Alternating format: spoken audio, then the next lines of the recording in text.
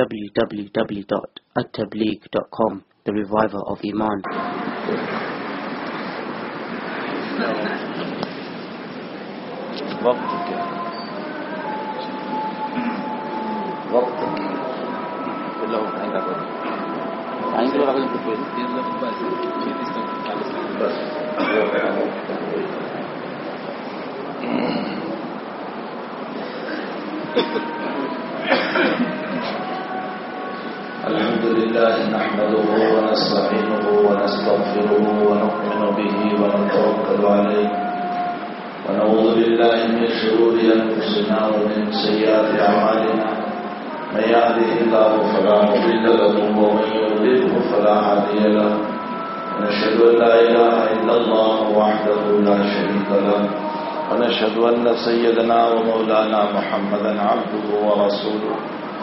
أما بعد، أعوذ بالله من الشيطان الرجيم. بسم الله الرحمن الرحيم. إن الله اشترى من المؤمنين أنفسهم وأموالهم بأن لهم الجنة. فقاتلون في سبيل الله فيقتلون ويقتلون. وعدا عليه حقا في التوراة والإنجيل والقرآن.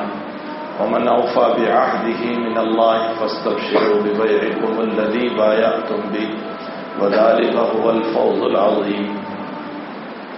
وقال النبي صلى الله تعالى عليه وسلم، إذا رأيت شحا مطاعا وهوا مطبع ودنيا معثرة وإعجاب كل ذي رأي برأيه، فعليك نفسك أو كما قال عليه الصلاة والسلام. بزرگوں بھائیوں دوستو، عزیزوں، ہمارے بزرگوں میں ایک بہت بڑی شخصیت گزری ہے۔ جن کا نام ہے جنید بغدادی رحمت اللہ دنیا ان کی ذات سے بہت واقف ہے۔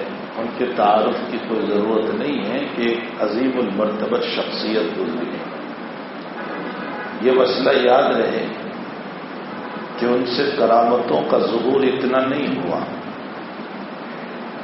لیکن ان کی سب سے بڑی کرامت یہ تھی کہ انہوں نے زندگی میں کبھی سنت نہیں چھوڑی۔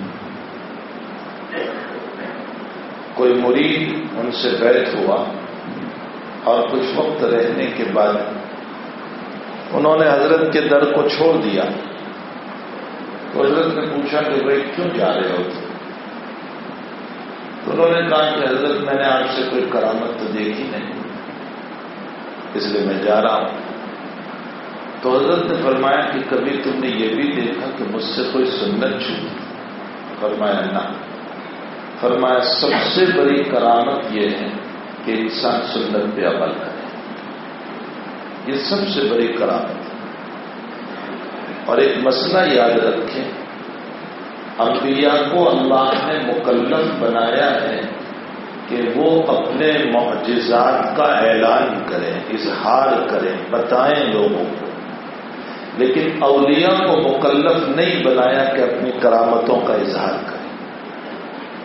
کیوں؟ اس لیے کہ انبیاء کے معجزات نبوت کی دلیل ہے۔ اور دلیل کو ظاہر کرنا ضروری ہے تاکہ لوگ اس نبی پر ایمان لائیں۔ معجزات جو ہیں، وہ دلیل نبوت ہے اس لیے انبیاء کو مکلف بنایا گیا کہ تم اپنے معجزات کو ظاہر کرو۔ لیکن اولیاء کو مکلف نہیں بنایا گیا کہ تم اپنی کرامتوں کو ظاہر کرو۔ ہاں بوقت ضرورت کبھی ایسا ہوتا ہے کہ کوئی صوفی وقت جب دین پر کوئی اشکال ہوتا ہے، کوئی چیلنج ہوتا ہے، تو وہ وقت ضرورت کبھی کرامت کو ظاہر کر دیتا ہے، ورنہ مکلف نہیں بنایا گیا۔ ہمارے کسی بزرگ کے سلسلے میں لکھا ہے کہ کسی عیسائی سے مناظرہ ہوا۔ اور اس عیسائی نے یوں کہا کہ ہمارے نبی کی شان تو یہ تھی کہ وہ مردوں کو زندہ کرتے تھے بلا تم میں وہ طاقت ہے۔ تو اس بزرگ نے یہ کہا، اللہ کی ذات سے امید ہے کہ انشاءاللہ میں بھی مردے کو زندہ کروں گا، ایک مرتبہ میدان میں آ جائے۔ لیکن وہ صاحب آئے نہیں۔ تو بوقت ضرورت۔ اولیاء کرام اپنی کرامت کو ظاہر فرماتے ہیں، ورنہ مکلف نہیں بنایا گیا۔ بلکہ یہ کہا گیا کہ اپنی کرامتوں کو چھپاؤ۔ تو سید الطائفہ جنید بغدادی رحمت اللہ علیہ کی زندگی میں آپ کرامتیں اتنی نہیں پڑھو گے، لیکن اس کی سب سے بڑی کرامت ان کی یہ تھی کہ اتباع سنت۔ حضور پاک شاسن کی مبارک زندگی پر عمل۔ آج ہم کس کو ولی مانتے ہیں؟ دو صفت والوں۔ ایک تو جن سے کرامت کا ظہور ہو حالانکہ کرامت ہی کی طرح کچھ اس طرح کے کرتون سادھوؤں سے بھی ہوتے شریعت میں اس کو استدراج کہا جاتا ہے۔ استدراج کا معنی ہوتا ہے کہ تعالی شان ہو ان کو دھیل دیتے اور پھر اچانک ان کی پکڑ کرتے گنگوہ میں ایک سادھو تھا جو پورے سال اپنے مندر میں بیٹھ کر ریاضت، مجاہدہ، باہر نہیں نکلتا تھا۔ اور پانی اور فروٹ پر گزارا تھا، کھانا نہیں کھاتا تھا۔ اور بغیر کپڑوں کے سال بھر رہتا تھا۔ خوب ریاضت اور مجاہدہ۔ اور سال میں ایک مرتبہ نکلتا تھا اور مجمع جمع ہو جاتا تھا اس کو دیکھنے کے لیے اور وہ یوں ہواؤں میں اڑتا تھا۔ اور اس کو دیکھ کر بہت سارے مسلمان اپنا ایمان چھوڑ دیتے اس پر ایمان لے آتے ردت ارتداد کا مسئلہ۔ تھا اس زمانے کے ایک ولی، ایک کامل، ایک بزرگ تھے، جن کا نام تھا حضرت شاہ القدس گنگوہی رحمت اللہ علیہ۔ آج بھی ان کا مزار ہے وہاں پر۔ شاہ القدس گنگوہی نمبر اللہ عمر سے لوگوں نے جا کر کہا کہ حضرت یہ سال میں ایک مرتبہ نکلتا ہے اور ایسے کرتوت بتاتا ہے کہ مسلمان اس پر ایمان لے آتے حضرت نے فرمایا، اب کے نکلے تو مجھے بتا دیا جب وہ نکلا اور فضاؤں میں اڑنے لگا، تو حضرت نے چپل نکالا اپنا۔ اور چپل نکال کر کہا، اللہ کے نام سے چل۔ اور یہ جتنا بلند جائے، اس سے اوپر تو جا۔ اور اس کے سر پر مارتا ہوا اس کو واپس لا۔ دنیا نے دیکھا کہ حضرت شاہ عبد القدس گنگوئی رحمت اللہ علیہ کا چپل اس سے اوپر چلتا ہوا اس کو نیچے لایا۔ تو بھائی، اس طرح کی باتیں جو کرامت کے مشابہ ہوا کرتی ہے، حقیقت وہ کرامت نہیں ہوتی، وہ تو غیر مسلموں سے بھی ظاہر ہوتی ہے، اس کو استدراج کہا جاتا ہے ڈھیل دینا کہا جاتا ہے۔ اس لیے کرامتوں پر مرنا نہیں چاہیے۔ کوئی ہواؤں میں اڑے تو ولی نہیں ہوتا ہے۔ کوئی پانی پر گزلہ بچھائیں تو ولی نہیں ہوتا ہے۔ ہمارے حضرت مفتی محمود حسن صاحب گنگوئی نمبر اللہ مرکزوں فرماتے ہیں کہ اصل کرامت یہ ہے کہ انسان کی زندگی نبی کی اتباع ہو۔ حضور پاک شاسن کی مبارک زندگی پر ہو۔ یہ سب سے بڑی کرامت ہے۔ حضرت معلیہ صاحب رحمۃ اللہ علیہ جب آخری مرض میں چل رہے تھے، جس میں آپ کا انتقال ہوا۔ تو حضرت مفتی شبی صاحب رحمۃ اللہ علیہ آپ کی عیادت کے لیے پہنچے۔ لوگوں نے بتایا کہ ڈاکٹر نے ملنے سے، باتیں کرنے سے منع کیا ہے۔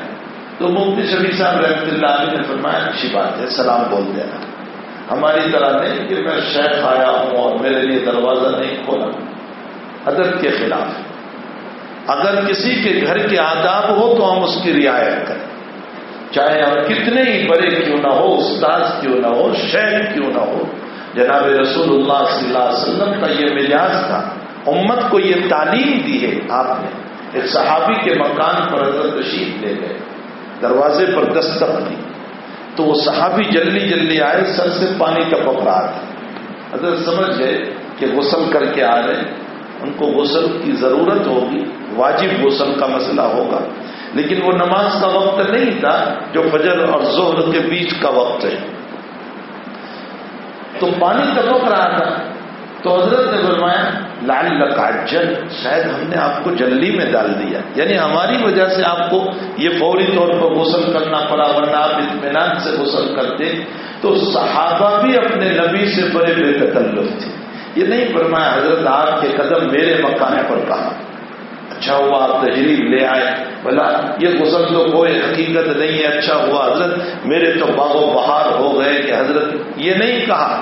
بالکل جب نبی یوں کہہ رہے ہیں کہ تم نے ہم کو اجلت میں ڈالا، جلی میں ڈالا، تو صحابی کہنے لگے، بالکل آپ نے ہم کو جلی میں ڈالا۔ بالکل ہم نے، آپ نے ہم کو اجلت میں ڈالا۔ تو اللہ کے نبی علیہ السلام نے مسئلہ بتایا۔ فرمایا، نماز کا وقت نہ ہو اور کوئی ملنے کے لیے آئے تو غسل کرنا ضروری نہیں ہے، وضو کر لو، ہاتھ دھو لو، اس لیے کہ اس حالت میں بھی ملاقات ہو سکتی ہے۔ میرے کہنے کا مطلب یہ ہے کہ نبی اکرم صلی اللہ تعالی علیہ وسلم نے امت کو ایسی بہترین تعلیم دی ہے، عیادت کے مسائل بتائے۔ تعزیت کے مسائل بتائے کسی کے وہاں انتقال ہو تو کیسے تعزیت کرو گے؟ عیادت کے مسائل بتائے بیمار کرسی کیسے کرو گے؟ فرمایا، بے وقت نہ جاؤ۔ اسی کے ساتھ ساتھ فرمایا، وقت پر جاؤ تو بہت زیادہ نہ بیٹھو۔ اس کی خیر خیریت پوچھ کر چلے آؤ۔ اس کے پاس بیٹھ کر بیماریوں کے تذکرے نہ کرو۔ اس کے پاس بیٹھ کر صحت کے تذکرے کرو۔ اس کو شفا کی امید دلاؤ۔ بخاری شریف میں ہے، تم کوئی دوا جانتے ہو تو وہ بتا دو۔ کوئی دعا جانتے ہو تو اس پر دم کر دو۔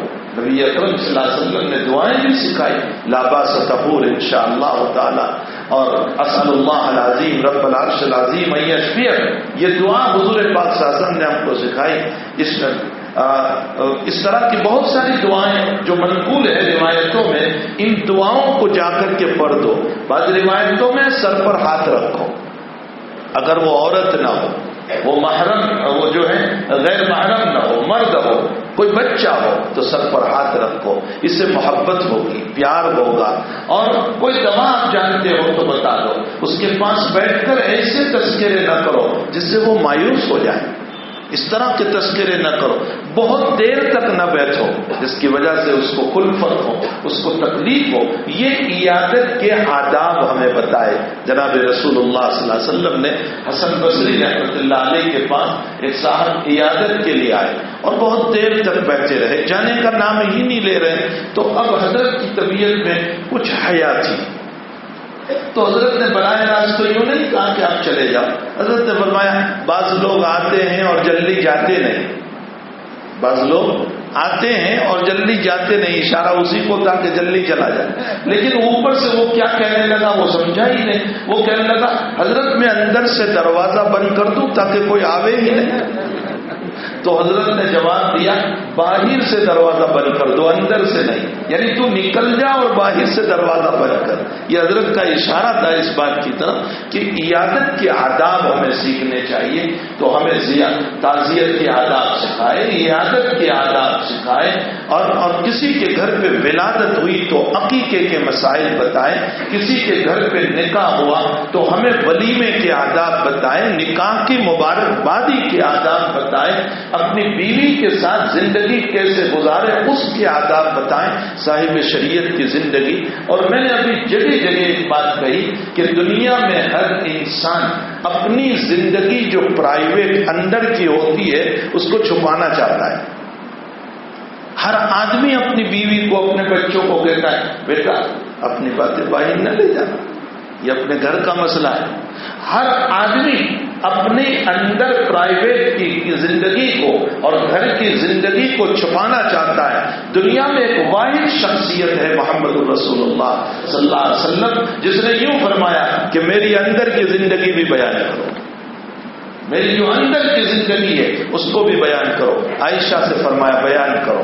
میمونا سے فرمایا، بیان کرو۔ حفصہ سے فرمایا، بیان کرو۔ میری زندگی کو کھول کر کے لوگوں کے سامنے بیان کرو۔ یہ وہی شخصیت کہہ سکتی ہے جس کی زندگی داغ سے پاک ہو۔ جو بے داغ ہو، وہی کہہ سکتا ہے، ورنہ داغدار انسان کبھی اپنی اندر کی زندگی کو باہر لانا پسند نہیں کرتا ہے، اس لیے کہ اندر کی زندگی داغ سے بھری ہوئی ہے جلوے کے اندر اور باہر مجمے کے اندر، اللہ اللہ اللہ، سبحان اللہ الحمد للہ خلوت می رون چوکارے دیگرا می کنن اور جب تنہائیوں میں جاتے ہیں، تو ایسے کام کرتے ہیں کہ شیطان بھی شرما جاتا ہے۔ تو حضور پاک صلی اللہ علیہ وسلم کی زندگی اتنی صاف ستھری تھی کہ جلوت میں بھی آپ کی زندگی صاف ہے، خلوت میں بھی آپ کی زندگی صاف ہے، پاک اور صاف زندگی۔ اور جب زندگی ایسی ہوگی تو وہی لائی کے اتباع بھی ہوں گے۔ ہمارے اکابر میں ایک بہت بڑی شخصیت سرزمین ہندوستان پر گزری اللہ انور شاہ صاحب کشمیری رحمت اللہ علیہ۔ یوں کہہ دیجیے کہ ایک ایمان کی نشانی تھی۔ یعنی جس کا حافظہ، جس کو باتوں کا یاد رہنا اتنی بڑی شخصیت تھی۔ وہ ایک جگہ ارشاد فرماتے بخاری شریف کی شرح کے اندر فرمایا کہ اللہ نے انبیاء کو گناہوں سے اس لیے پاک رکھا۔ سنو کتنی بہترین بات۔ اللہ نے انبیاء کو گناہوں سے اس لیے پاک رکھا کہ انبیاء جو ہیں، اس کی اتباع کرنے والے دنیا میں لوگ ہیں۔ اگر وہ گناہ کریں گے تو فاسق ہو جائیں گے۔ اور جو فاسق ہوگا، وہ مردود شہادت ہو جاتا ہے۔ اس کی شہادت کو رد کر دیا جاتا ہے۔ جس کی شہادت رد ہو جاتی ہے، وہ واجب الاتباع کہاں ہو سکتا ہے؟ اس لیے انبیاء کرام علیہ السلام کی زندگی کو گناہوں سے پاک رکھا گیا۔ ان کی زندگی میں کوئی گناہ نہیں ہوتا۔ قبائل بھی نہیں سگائل بھی نہیں، یہی اکثر کا مذہب ہے۔ قبائل بھی نہیں سگائل بھی نہیں۔ ان سے نبوت سے پہلے بھی نہیں، نبوت کے بعد بھی نہیں۔ ان سے گناہ کا صدور ہوتا ہی نہیں۔ بہرحال میرے بھائیوں، میں یہ کہہ رہا تھا کہ جنید بغدادی رحمت اللہ علی ولی یہ کامل گزرے ہیں۔ ان کی سب سے بڑی کرامت یہ تھی کہ اتباع سنت۔ حضرت صاحب رحمۃ اللہ تعالیٰ علیہ، مفتی شفیع صاحب جب عیادت کے لیے تشریف لائے، تو لوگوں نے بتایا کہ حضرت ڈاکٹر نے باتیں کرنے سے، ملاقات سے منع کر دیا۔ تو حضرت نے یہ نہیں کہا کہ میں مفتی ہوں اور میں فلاں ہوں اور میں داود الدیوبند کا مدرس ہوں۔ ارے کہو حضرت سے۔ نہیں، ادب تھی۔ فرما اچھی بات ہے۔ سلام بول دینا اور کہنا، محمد شفیع آئے تھے دیوبند سے تمہاری عیادت کے لیے۔ کسی نے جا کر اندر حضرت مالیہ صاحب رحمۃ اللہ علیہ کو بتایا تو مولانا نے فرمایا، کیوں ان کو واپس کر دیا؟ وہ تو میری جان ہے، بلاؤ۔ مفتی شبی صاحب کو بلائے تھے، اندر بیٹھے۔ مالیہ صاحب رحمۃ اللہ علیہ، یہ آخری مرض کی بات ہے جس میں آپ کا انتقال ہوا۔ مالیہ صاحب رحمۃ اللہ علیہ نے فرمایا کہ مفتی شبی صاحب، میرا یہ جو کام ہے دعوت و تبلیغ کا جو دنیا میں پھیل رہا ہے فرمایا یہ استدراج تو نہیں ہے؟ کیا کہہ رہے یہ استدراج میں نے ابھی آپ کو بتایا، جو سادھوؤں کے ہاتھوں پر، جو ہندوؤں کے ہاتھوں پر ظاہر ہو جو اللہ ڈھیل دیتا ہے اور پھر پکڑ کر لیتا ہے۔ معاہدہ صاحب رحمت اللہ علیہ فرماتے ہیں کہ یہ کہیں استدراج تو نہیں ہے کہ اللہ نے مجھ کو ڈھیل دی ہو۔ یعنی یہ گناہ کا کام تو نہیں ہے کہ ڈھیل دی ہو اور پھر اللہ میری پکڑ فرما لے۔ تو صاحب فرماتے ایک دم سے، ہرگز نہیں۔ ہرگز نہیں، یہ استدراج نہیں۔ تو آخر مولوی مولوی تھے نا۔ عوام الناس میں سے تھوڑے ہی تھے کہ بات مان لیتے۔ معاہدہ صاحب رحمۃ اللہ علیہ نے فرمایا، دلیل کیا ہے؟ مولوی تو دلیل مانگتا ہے نہ گفتہ نہ دارت کسے بات کار بلے کن چگفتی دلیل اشپیا شخص شادی فرماتے گلستان کے اندر کہ جب تک تم نہیں بولے تو کوئی دلیل نہیں مانگے گا، لیکن بولو گے تو دلیل دینا پڑے گا۔ فرمایا، دلیل کیا ہے اس وقت تو مفتی شبی صاحب رحمۃ اللہ علیہ نے فرمایا اللہ جن کو استدراج دیتا ہے، ان کے دل و دماغ میں یہ تصور بھی نہیں آتا کہ یہ استدراج اور گناہ ہے۔ آپ کے دل و دماغ میں اس تصور کا آنا یہی دلیل ہے اس بات کی کہ یہ استدراج نہیں۔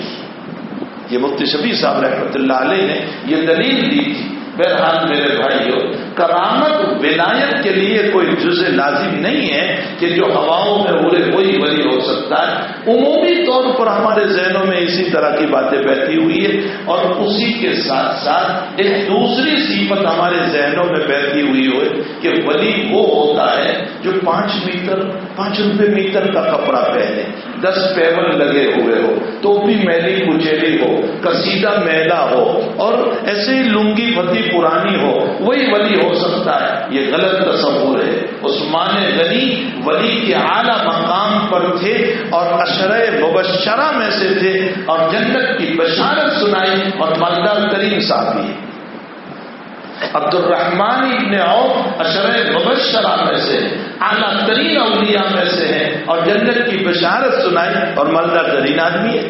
شیخ عبید اللہ شاہ رحمت اللہ علیہ، بخارا کے رہنے والے تھے۔ بہت بڑی شخصیت ملا جامی رحمت اللہ علیہ۔ اب ملا جامی کون ہے؟ مدرسوں میں ایک کتاب پڑھائی جاتی ہے نحو میں شر جامی شر جامی کے لکھنے والے۔ میں اس کمرے میں گیا، جہاں حضرت نے بیٹھ کر شر جامی لکھی تھی۔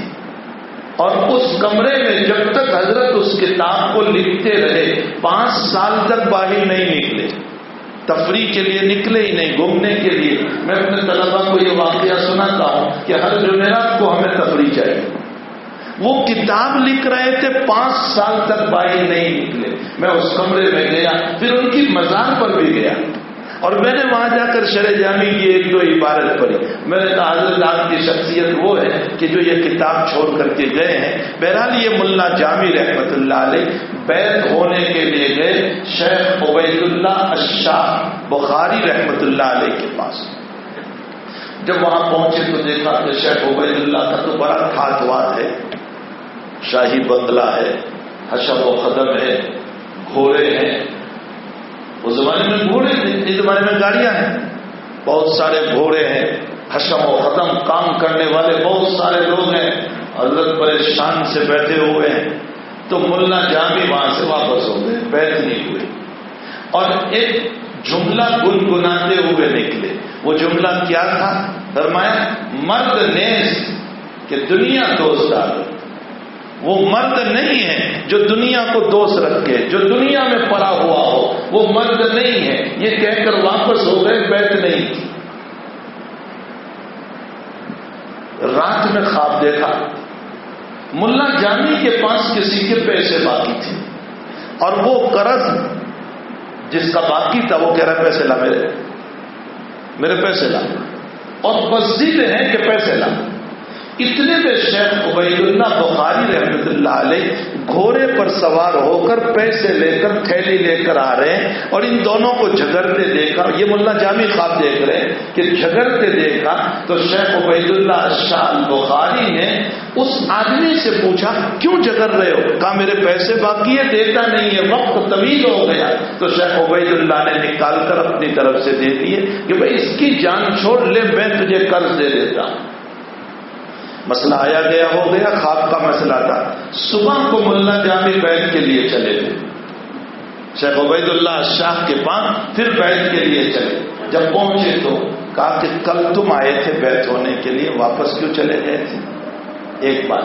اور کیا گنگناتے ہوئے گئے تھے؟ یہ دو بات۔ پہلے مجھے یہ بتاؤ، تب میں تمہیں بیت کروں گا۔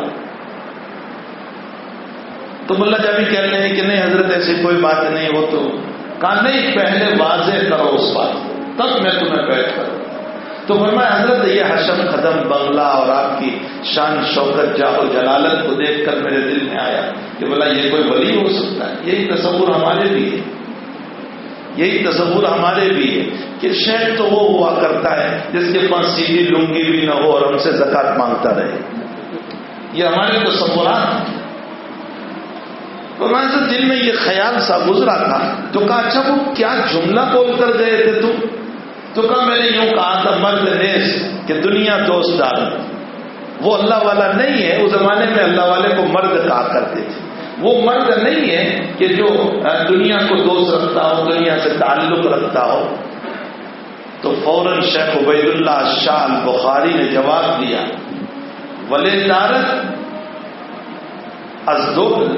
دوست دار فرمایا، وہ اللہ والا نہیں ہے جو دنیا سے دوستی رکھتا ہو، اور اگر دوستی رکھتا ہو تو وہ اللہ کے لیے رکھتا ہو۔ یعنی اس کا مال بھی جو ہے، وہ اللہ کے خاطر اس نے رکھا ہوا ہے۔ تو پھر اس صورت میں رکھنے میں کوئی حل نہیں۔ فرمایا، حضرت، یہی تو وجہ تھی کہ میں بیٹھ ہونے آیا کہ رات میں آپ ہی میرا قرضہ ادا کرنے آئے تھے۔ میں نے یہ واقعہ آپ کو اس لیے سنایا کہ یہ ضروری نہیں ہے کہ وہ شیخ، وہ بزرگ، وہ ولی کامل جو ہے وہ غریب ہو، فتح پرانے قبروں کے اندر ہو، دولت کے نقشوں میں بھی انسان اللہ کا ولی بن سکتا ہے۔ حدیث شریف میں ایک واقعہ ملتا ہے، انس ابن نظر رضی اللہ تعالیٰ، کوئی مشہور صحابی نہیں ہے اتنے۔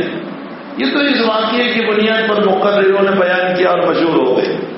ورنہ بابی روایت میں جیسے ابو بکر صدیق کا مقام، عمر کا مقام، عثمان کا مقام، علی کا مقام، ابو بیدا کا مقام عبد الرحمان کا مقام، ویسے کوئی اتنا اونچا ان کا مقام نہیں صحابہ میں۔ انس ابن نظر رضی اللہ تعالیٰ غریب صحابی، فتح پرانے کپڑے پہننے والے، ٹھکانے کے کپڑے بھی ان کے پاس نہیں ہے ان کا اتنا کوئی تعارف بھی نہیں ہے۔ ان کا حال یہ ہے کہ ان کی کوئی بات کو اتنا جلدی قبول بھی نہ کرتا ہے۔ لیکن حال یہ ہے کہ انہوں نے اس زمین پر بیٹھ کر ایک بات کہی، اللہ نے ان کی قسم کو پورا کیا۔ تو اس پر نبی علیہ السلام نے فرمایا، رب اش اکبر لو اقسم اللہ لابر اللہ تعالیٰ، بہت سارے پراگندہ بال پراگندہ حال یعنی غربت کی زندگی گزارنے والے، لیکن تعلق اللہ سے وہ ہوتا ہے کہ زمین پر قسم کھاتے اللہ ان کی قسموں کو پوری کرتا ہے۔ ولایت کا تعلق جو ہے، وہ غریبی سے بھی نہیں، ولایت کا تعلق دولت سے بھی نہیں۔ ولایت کا تعلق اللہ کے تقوی سے۔ جس انسان کے پاس اللہ کا جتنا تقوی ہوگا، میں ایک بات اور عرض کروں کہ آج کل ہمارا حال یہ ہو گیا ہے کہ ہم نے اپنے سارے مسائل، ساری پریشانیاں، سارے حالات، ان تمام کو جوڑ دیا عبادتوں سے۔ حالات کو، پریشانیوں کو، مسائل کو عبادتوں سے جوڑا۔ کیسے جوڑ دیا؟ مولانا، میں تعجد پڑھتا ہوں، پھر بھی میرے ہی گھر میں حالات ہیں۔ دیکھیے میں پانچ وقت کا نمازی ہوں، پھر بھی میرے ہی گھر میں حالات ہیں۔ میں اتنا جو ہے صدقہ کرتا ہوں، پھر بھی میری ہی دکان نہیں چل رہی۔ میں جماعت میں جاتا ہوں، میں دین کا یہ کام کرتا ہوں، میں فلاں کام کرتا ہوں، اس کے باوجود میرے ہی گھر میں حالات ہیں۔ میں نے کچھ احباب کو یوں کہا کہ اگر عبادات کی بنیاد پر حالات ختم ہو جاتے تو سنو، اللہ کے نبی سے بڑھ کر عبادت کرنے والا کوئی نہیں تھا، ان پر کوئی مصیبت نہیں آنی چاہیے تھی۔ ان پر کوئی حالات نہیں آنے چاہیے تھے۔ لیکن سب سے زیادہ مصیبت محمد رسول اللہ صلی اللہ علیہ وسلم پر آئی۔ سب سے آپ خود فرماتے کہ سب سے زیادہ مسائل مجھ پر ہے شہر ابھی تعلیم میں جو دو یا ڈھائی سال تک آپ کا سوشل بائیکاٹ ہوا تھا، وہ ایسا بائیکاٹ نہیں تھا کہ ہماری فیملی سے ہم کسی کو نکال دیں اور وہ باہر کھاتا رہے، ایسا نہیں۔ ان کا حال تو یہ تھا کہ مکے کے مارکیٹ میں اور بازار میں پیسے لے کر شاپنگ کرنے کے لیے جاتے تھے، تو بھی ان کو کوئی پیسوں سے دینے کے لیے بھی تیار نہیں۔ آپ انداز لگائیں کہ دو ڈھائی سال تک مکے کی مارکیٹ سے جن کو مال نہ ملا ہو، وہ گھاس پھوس کھا کر کے زندگی گزارتا ہو، ان کے اوپر مصیبت کا کتنا بڑا پہاڑ ہوتا ہو۔ اور روزانہ ان کے خلاف مکے میں میٹنگ بیٹھتی تھی۔ روزانہ ان کے خلاف کہ آج محمد کے خلاف کیا کیا جائے اور آج محمد کے خلاف کیا کیا جائے؟ ان کے قتل کو ترتیب کیسے بنائی جائے اور ان کو کیسے نکالا جائے اور ان کو کیسے مارا جائے اور ان کی فیملی کو کیسے تباہ و برباد کیے جائے؟ اور روزانہ یہ متاف کعبہ میں حضور نماز پڑھ رہے ہیں اور وہی لوگ بیٹھے ہوئے دن دناتے ہوئے اور کہہ رہے ہیں، کون ہے جو اونٹ کی ہوجری لا کر آپ صلی اللہ علیہ وسلم کے سر پر ڈال دیں؟ جب آپ سستے میں جائیں اور جب آپ سستے میں گئے تو اتبا ابن معید اشکل قوم جو گدار قسم کا انسان، وہ تھا اور اونٹ کی پوری ہوجری آپ جانتے ہیں کہ گائے کی اور اور بیل کی اور بچڑے کی اونٹ ہوجری سے زیادہ بڑی اس کی ہوا کرتی ہے، پوری لا کر کے جناب رسول ڈال دی اور عالم حضرت کا یہ ہو رہا ہے کہ آپ سستے سے اٹھ نہیں پا رہے۔ اور عبداللہ ابن مسعود کہتے ہیں، جو راوی حدیث ہے اس کے، وہ کہتے ہیں، میں وہی تھا، لیکن میں کچھ نہیں کر سکتا تھا، اس لیے کہ مجھے وہ لوگ مار دیتے۔ عبداللہ ابن مسعود وہی کھڑے دیکھ، فاطمہ کو پتا چلا، جو چھوٹی بیٹی ہے آئی اور آنے کے بعد اوپر سے اوجری کو ہٹایا اور ہٹانے کے بعد گندگی کو صاف کیا اور حضرت پھر بیٹھے۔ بہرحال رسول کی بیٹی تھی وہ۔ اس کی ہمت، اس کی طاقت کہ وہ دری نہیں اور ہٹایا اور اللہ کے نبی بیٹھے اور فرمایا اللہ علیہ کب قریش اللہ علیہ کب رتبا اللہ علیہ کب ولی بے شیبا بے ابھی چند سب کے نام لے کر حضرت نے بد دعا فرمائی سب کے نام لے کر بد دعا فرمائی۔ اور ایسی شدید بد دعا نبی کریم صلی اللہ علیہ وسلم نے فرمائی۔ آپ انداز لگائیں کہ اتنی بڑی مصیبت نبی کے اوپر آئی ہوئی ہے۔ اگر عبادت کی بنیاد پر مصیبتیں نہ آتی تو پھر نبی پر نہیں آنی چاہیے تھی۔ میں اس روایت پر ایک بات اور عرض کر دوں۔ ہمارا المیہ یہ بھی ہے، ہمارا رونا یہ بھی ہے کہ مقصد میں دعائیں کرتا ہوں، قبول نہیں ہوتی۔ میں دعائیں کرتا ہوں، قبول نہیں ہوتی۔ اس روایت پر آپ غور فرمائیں، نبی کریم صلی اللہ علیہ وسلم نے بدعا فرمائی مکی زندگی۔ اور ہجرت سے دو یا تین سال پہلے کا یہ واقعہ ہے۔ تب آپ نے بدعا فرمائی۔ اس کے بعد جن لوگوں کے نام لے کر بد دعا کی تھی، وہ سب مکے میں دن دناتے پھر رہے تھے۔ ان کا بال بھی بیکا نہیں ہوا۔ سب دن دناتے پھر رہے۔ وہ اتبا بھی وہ ولید بھی، وہ شیبہ بھی، وہ ابو جہل بھی، سب دن دناتے پھر رہے۔ تو نبی کو تو یہ خیال نہیں آیا کہ میری دعا قبول نہیں ہوئی۔ حضرت کو تو یہ خیال نہیں آیا۔ مدینہ تم منورہ پہنچی اور سن دو میں بدر ہوا۔ یہی راوی عبداللہ ابن مسعود اب یہاں بھی ہے۔ عبداللہ ابن مسعود فرماتے نبی نے اس موقع پر مطاف کعبہ میں بیٹھ کر جن جن لوگوں کے نام لے کر بد دعا کی تھی، وہ سب بدر میں مارے گئے اور اس کنویں بدر میں، بدر کے کنویں میں ان کو ڈالا گیا۔ تو نبی کی دعا پانچ سال کے بعد ظاہر ہوئی اور ہم چاہتے ہیں کہ فجر میں دعا کریں اور زور تک میں کام ہو جانا چاہیے۔ غلط سوچ ہے کہ نہیں ہماری؟ غلط سوچ۔ اللہ ہماری دعا کو رد نہیں کرتا۔ یہ خوب سن لے لیکن اللہ کی اپنی مسلیت ہے۔ اللہ جل شانوں کی اپنی مسلیت ہے۔ ہمیں اللہ کی مسلیت چھوٹی عقل کے ذریعے سے نہیں سمجھ سکتے۔ ہیں کہ اللہ کی کیا مسلیت ہے؟ بخاری شریف میں ایک واقعہ ملتا ہے کہ ایک عورت، جو کالی عورت تھی، حضرت عائشہ رضی اللہ تعالیٰ عنہ کے پاس آتی رہتی تھی اور ایک جملہ بولتی تھی، یوم الوشا وما یوم الوشا میں تحاجی رب بنا کربلا القفر لچانی یہ جملہ بولتی تھی۔ حضرت عائشہ نے ایک دن پوچھا کہ کیا تو بولتی رہتی ہے؟ جب آتی ہے تب بولتی۔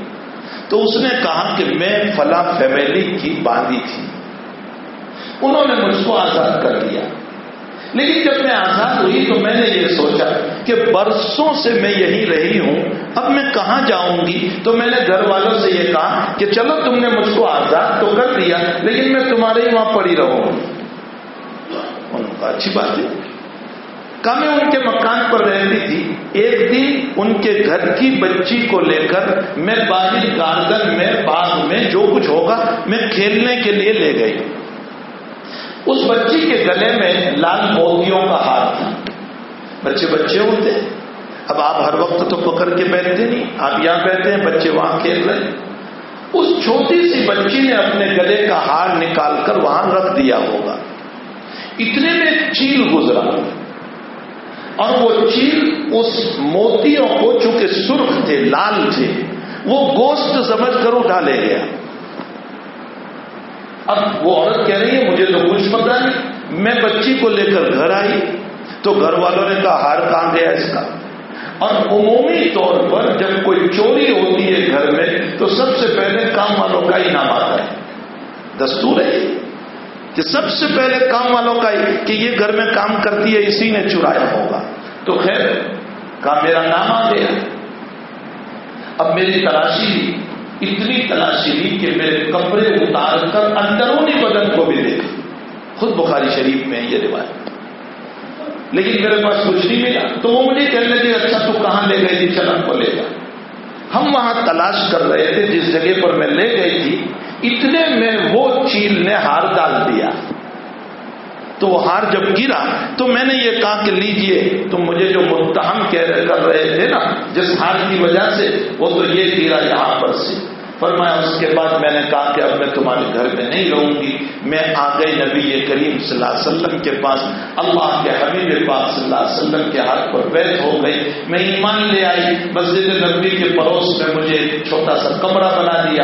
میں اس میں رہتی ہوں۔ آپ کے پاس آتی رہتی ہوں۔ تو میں وہ یاد کرتی رہتی ہوں۔ وہ البشا وہ ہار کے گم ہونے کا دن ما یوم البشا وہ کیا دن تھا؟ میں تحاجی میں رب بنا میرے رب کا عجوبہ تھا کہ تھوڑی دیر میری ذلتی تو ہوئی، لیکن اللہ نے ہمیشہ کے لیے کفر سے مجھے نجات دی۔ تو یہ اللہ کی مسلیت تھی کہ ذلتی ہوئی، کپڑے کھولے گئے، شرمگاہ تک دیکھا گیا۔ یہ ذلتی ہوئی، لیکن اس مسلیت کو کون جانتا تھا کہ اللہ اس کو جنت دلانا چاہتا اللہ کی مسلیت کو کون سمجھ سکتا ہے؟ ہم یہ جانتے ہیں، ہماری دعا قبول نہیں ہوئی تو دعا آپ کی کوئی رد نہیں ہوتی۔ لیکن اللہ کی مصلیتیں کبھی اللہ فوراً دیتا ہے، کبھی اس کی جگہ پر اور چیز دے دیتا ہے۔ کبھی اس کا اسٹاپ کر کے قیامت میں اللہ ثواب عطا کرتا ہے۔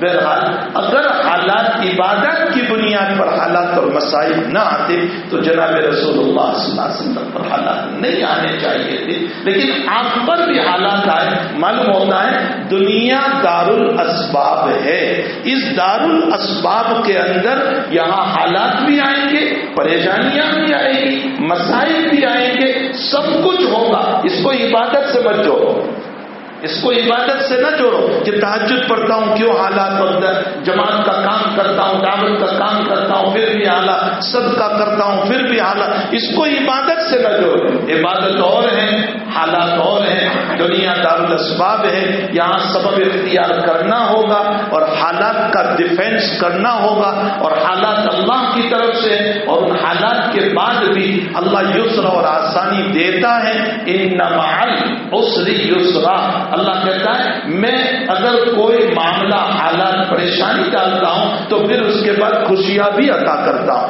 اس کے لیے بہت ساری باتیں ہیں، لیکن چونکہ جمعہ سے پہلے مختصر سا وقت ہوتا ہے، میں نے آیت پڑھی، بات تو اثر رہ گئی تھی جنید بغدادی پر سے۔ میں مختصر کو عرض کر دوں کہ یہ سید الطائفہ جنید بغدادی کے مرید تھے۔ آٹھ سال آئے، اس کے بعد آنا چھوڑ دیا۔ حضرت نے پوچھا، وہ کیوں نہیں آتے؟ حضرت معلوم نہیں۔ تو حضرت ان کے گھر نصیب لے گئے کہ بھائی تم نے ذکر کی مجلس چھوڑ دی۔ تم نماز میں بھی نہیں آتے۔ تم وہاں خالقہ میں بھی نہیں آتے۔ کیا بات ہے؟ کیوں نہیں آتے؟ تو اس نے کہا، حضرت، جس بنیاد پر آنا تھا وہ تو مجھے نصیب ہو گیا۔ میں، کیا نصیب ہو گیا تجھے؟ کہا، مجھے یہ نصیب ہوا کہ رات دو بجے روزانہ دو فرشتے آتے مجھے لے کر چلتے، جنت میں لے جاتے، بہترین مجھے کھانا کھلاتے، اور اس کے ساتھ ساتھ فرش مخمل پر مجھے بٹھاتے، اور براق آتا ہے اور اس کے اوپر سوار کر کے لے جاتے، اور شراب جنت کی پلاتے۔ تو اسی جنت کے لیے تو ذکر تھا عبادت تھی نماز تھی وہ مجھے مل گئے۔ اب کیا ضرورت رہی؟ حضرت فرمایا، بہت خوشی کی بات ہے۔ اب جب کوئی تمہیں آج رات لینے آئے، تو اس کو میرا تذکرہ کر دینا کہ جنید یاد کر رہا تھا، اور ساتھ ساتھ لاہور ولا قوت الا باللہ بھی پڑھ لینا۔ جب رات ہوئی اور یہ جب چلا ہے اور پورا سفر کر لیا، تو سفر کے بعد حال یہ ہوا کہ یاد آیا کہ حضرت نے ایک جملہ کہا تھا کہ میرے نام کا تذکرہ کر کے کہہ دینا کہ لاہور ولا جیسے ہی لاہور ولا قوت اللہ بلّہ پڑا وہ صبح میں آ کر کے حضرت کو بیان کر رہا ہے، روتا ہوا۔ حضرت کے پاؤں پکڑ کر کے رو رہا ہے اور فرمایا، جیسے ہی میں نے لاہور پڑا وہ فرشتے شیطان نظر آنے لگے، وہ جنت جہنم نظر آنے لگی وہ شراب پیشاب نظر آنے لگا، وہ کھانا بدبودار نظر آنے لگا اور اتنی بدبو تھی جیسے مر، مری ہوئی جان، مرے ہوئے جانور کی بدبو آتی ہے۔ حضرت نے فرمایا، شیطان تھے جنہوں نے دنیا پر خوشنما پردہ ڈال دیا تھا۔ جب لاہور سے پردہ اٹھا تو اللہ نے حقیقت کو کھول دیا۔ آج ہماری نظروں کے سامنے بھی یہ دنیا کا اوپر ایک خوبصورت پردہ ڈال دیا ہے شیطان نے، جس کی وجہ سے ہم دکان کے خاطر نماز چھوڑ دیتے ہیں، ہم کاروبار کے خاطر نماز چھوڑ دیتے ہیں، ہم کھیتیوں کے خاطر نماز چھوڑ دیتے ہیں، ہم ہم جو ہے اپنی اولاد کے خاطر حرام مال کو بھر کے لے آتے ہیں۔ کبھی میراث دبا لی، کبھی کیا دبا لیا، کبھی کسی کا یتیم کا مال دبا لیا، کبھی غریب کا لے لیا، کبھی بیوہ کا لے لیا۔ فتح رحیمیہ نام سنا ہے نا، حضرت مفتی عبد الرحیم صاحب، لاجپوری رحمت اللہ علیہ، میں نے میرے استاد محترم حضرت مفتی یحییٰ صاحب رحمت اللہ علیہ، جو سہارنپور کے صدر مفتی تھے، میں نے تحاوی شریف ان سے پڑھی اور میری عبادت پڑھتا تھا۔ مفتی یحییٰ صاحب نے خود ہم کو جماعت میں، ہمارے سبق میں یوں کہا تھا کہ مفتی عبد الرحیم مفتی گجرات نہیں ہے مفتی عالم ہے۔ لیکن گجراتیوں کو تو علماء کی قدر ہی کہا رہی گجراتیوں کو علماء کی قدر نہیں ہے۔ گجراتی تو مرنے کے بعد بڑے بڑے جگ سے چلتا ہے۔ حیاتی میں کچھ نہیں کرتا۔ ہمیں علماء کی قدر نہیں ہے۔ میں نے کرناٹ بلسان میں کہا، لوگ کہتے ہیں ملسان جنید بغدادی جیسے اب کہاں رہے؟ تو میں نے کہا، ان کے مریدوں جیسے تم بھی تو نہیں رہے۔ وہ شبلی کہاں رہا؟ جو ان کا مرید ہے۔ وہ وہ لوگ بھی تو نہیں ہیں تو جیسے تم ہو، ویسے تمہارے علماء ہیں۔ غنیمت جانو کہ اس زمانے میں جیسے بھی ہے، یہ علماء تمہاری طرف سے ڈیفینس تو کر رہے ہیں۔ طلاق کا مسئلہ خراب ہوا، تمہاری حکومت نے اتنا بڑا مسئلہ کھڑا کیا۔ اور حکومت نے کھڑی کر کے سپریم کورٹ میں، عوام میں سے کوئی گیا کون گیا لڑنے کے لیے؟ یہی علماء۔ یہی علماء ہیں جو گئے۔ اس کے علاوہ اس سے پہلے بے شمار مسائل کھڑے ہوئے۔ اور اس وقت بھی مسائل کھڑے ہوتے چلے جا رہے آسام کے چالیس لاکھ مسلمانوں کو غیر ملکی قرار دیا۔ اور کہا تم ہندوستانی نہیں ہو، یہاں سے نکلو، ان کو بچانے کے لیے۔ آپ میں، ہم میں سے کوئی گیا ہے؟ یہی علماء ہے جو سپریم کورٹ تک لڑ رہے جس شکل میں بھی ہے، یہ علماء ہے ان کی قدر کرو۔ جس شکل میں بھی ہے۔ یہ ٹوٹے ہوئے ٹوٹے ہوئے، یہ یہ جس شکل میں بھی ہے، لیکن بہرحال یہ اسلام کا ڈیفینس کر رہے ہیں، اسلام کا دفاع کر رہے ہیں، اسلام کی سربلندی کی کوششیں کر رہے ہیں، جس شکل غلطی سے کون پاک ہو سکتا ہے؟ ہر ایک سے کچھ نہ کچھ غلطی تو ہو ہی جاتی ہے۔ یہ معصوم نہیں ہے، یہ نبی نہیں ہے، یہ گنہگار ہر بندہ ہو سکتا ہے۔ لیکن افسوس یہ ہے، ہمیں لوگوں کے عیبوں کی فکر ہے، اپنی عیبوں کی فکر ہے۔ ہم لوگوں کے عیوب پر تو نقطے انگلیاں اٹھاتے، مجھے میری زندگی کے عیب نظر نہیں آتے۔ ہمیں چاہیے کہ ہم جس شکل میں بھی علماء ہیں، بہرحال ان کی قدر کر کے، ان کا تعاون، ان کی نصرت، ان کی مدد کرنا چاہیے تاکہ یہ علماء اور آگے بڑھ کر کے کام کرے خیر، اس وقت جو ہے حالات یہ دنیا ہے نا، اس تو مفتی عبد الرحیم صاحب نے فتح رحیمیہ میں باب میراث میں یوں لکھا ہے پل لینا۔ گجراتی میں بھی ہے۔ فتح رحیمیہ میں یوں لکھا ہے کہ جو جان بوجھ کر میراث نہیں دیتا، ایمان چلے جانے کا خطرہ ہے۔ فتح رحیمیہ اٹھا کر دیکھ اب آپ بتائیے کہ ہم نے جب میراث نہیں دی ہے تو کیا حال ہوگا؟ اللہ تعالیٰ ہم تمام کوئی باتوں کی طرف چلنے کی، دین مدین کی طرف دیکھنے کی اور اس پر عمل کی توفیق عطا فرمائے۔ اس لیے میں نے آئے پڑھی اللہ اشترا۔ اللہ نے میرے مال کو، میرے جان کو خرید لیا تو اب میرا مال اور میری جان اللہ کے لیے استعمال ہوگی۔ وہ جیسے چاہے گا، ویسے ہم کریں گے۔ وہ جس سے منع کرے گا، اس سے ہم رک جائیں گے۔ اور نبی علیہ السلام نے فرمایا کہ اے لوگوں ادھر رائے شکم متان جب تم دیکھو کہ لوگ بکیلی کی اتباع کر رہے ہیں۔ وہ ہوا متبا اور خواہشات کے پیچھے دوڑ رہے ہیں۔ آج خواہشات ہی کے پیچھے تو لوگ دوڑ رہے ہیں۔ وہ دنیا بہت اور دنیا اتنی اثر ڈال رہی ہے کہ دین بیچنے کو ہم تیار ہیں۔ ہے نا؟ ارے یہ ہمارے اندر کی باتیں ہیں۔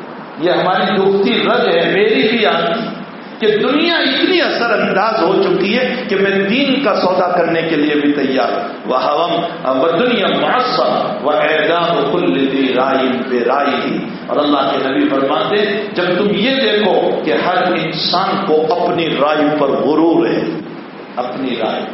مجھے جو ہے اپنی رائے پر غرور پراؤ گھمن، تکبر، میں جیسا کہوں ویسا ہی ہونا چاہیے۔ ارے، یہ شان تو نبی میں بھی نہیں تھی۔ وہاں ابو بکر رائے دیتا ہے، نبی جھک جاتا ہے۔ ہاں ایک واقعہ پیش آیا ادیبیہ کے موقع پر۔ ابو بکر نے فرمایا، نہیں یا رسول اللہ، ان قبیلوں کی طرف اب نہیں جائیں گے اب تو کعبہ کی طرف جائیں گے۔ حضرت نے فرمایا ان زو بسم اللہ، ابو بکر جو کہہ رہا ہے وہ صحیح نبی جھک گئے۔ وہ بکل لیتی رائے بے تو اللہ کے نبی فرماتے جب یہ برائیاں تم دیکھو، تو میں تم سب کو کہہ رہا ہوں، میری ذات کو بھی کہہ رہا ہوں۔ نبی ہم کو یہ سبق دے کر گئے فعلئی کا نفسک اپنی حفاظت کر لینا کہ کہیں یہ برائیاں تجھ میں نہ آ جائیں۔ اپنی ذات کی حفاظت کرنا، اپنی اولاد کی، اپنی بیٹیوں کی، اپنے بیٹوں کی، اپنی بیوی کی، اپنی فیملی کی حفاظت کرنا کہ یہ برائیاں ہم میں نہ آ جائیں۔ اللہ عمل کی توفیق عطا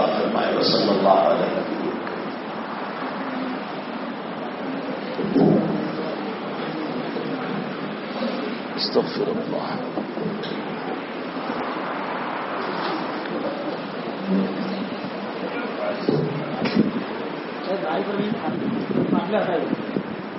لا إله إلا الله وحده.